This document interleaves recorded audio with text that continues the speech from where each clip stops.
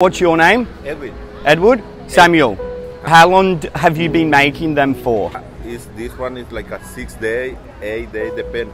My family make it. If my family is the only make hammock all day, uh, That's amazing. How much for one? in pesos it's like a twelve hundred pesos. And how much for all four?